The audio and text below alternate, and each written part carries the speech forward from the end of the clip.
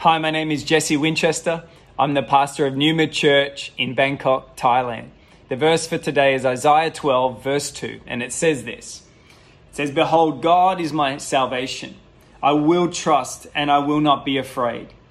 For the Lord God is my strength and my song, and he has become my salvation. The central focus of Isaiah 12 is upon God.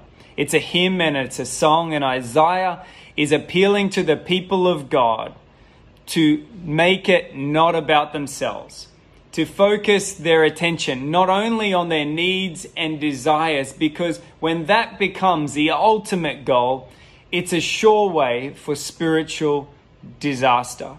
But instead, to praise and thanks, to realize that God isn't a tyrant who is desperately in need of praise and thanks, but we need to give them.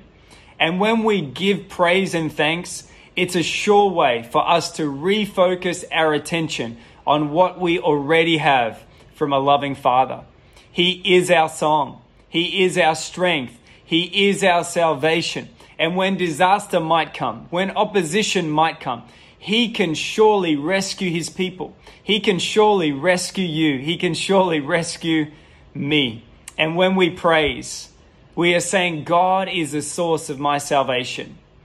God is the one that I'm lifting up above everything else. We want to participate in this salvation story that God is writing. That we aren't fearful of our future, that we are living dependent on our great God.